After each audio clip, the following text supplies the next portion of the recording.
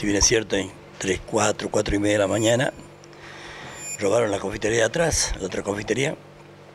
Si bien es cierto, ese día, nosotros tenemos sereno. Justamente el sereno descansó ese día porque nosotros tenemos servicio acá y siempre vamos a controlar la, confitería del fondo.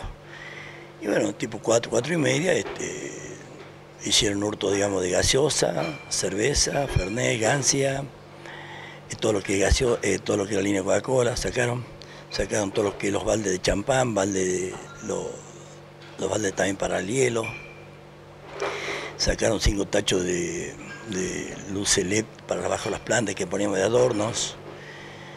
Y después las cucharitas para tortas, así que sacaron todo eso. Así, aproximadamente cerca de 15 mil, 20 mil pesos se hizo el hurto, digamos, de, de cosas que se robaron. Rompieron el vidrio de atrás, entraron, se, se ve que entraron dos o tres personas. Y bueno, hicieron hurto. Y entonces vino la policía al momento, sacó fotos, tomó todas las imágenes que tenía que tomar, y bueno, y, y se han ido y, y después tuve comentarios, digamos, del señor comisario, de la cual este, se sabe quiénes son las personas y también ya sabemos nosotros los nombres, quién te habla y nuestra familia sabemos los nombres quiénes son. Bueno, No pudieron recuperar nada.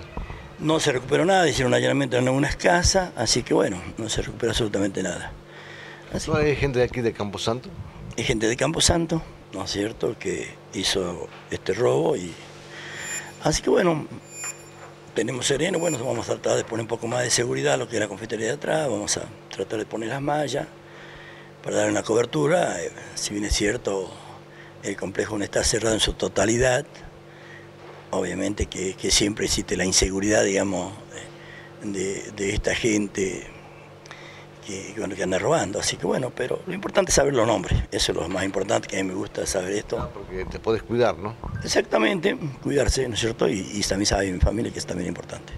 Bueno, esperemos que esto no vuelva a ocurrir y que haya un poco más de seguridad, porque es el primer hecho que te ocurre, ¿no?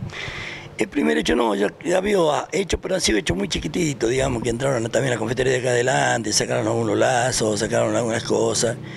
Y después, si bien es cierto, un día este, estaba acá con un servicio y agarro, voy al fondo, acá la- dentro de la confitería tenemos una habitación que está un baño privado.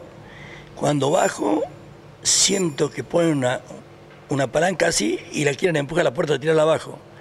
Y yo cometo el error de gritar y, y insultar de adentro. Y, obviamente que el, que el pie me rajó y se fue al carajo. Cuando yo después de la vuelta, me hubiera callado y hubiera entrado y bueno, de ahí.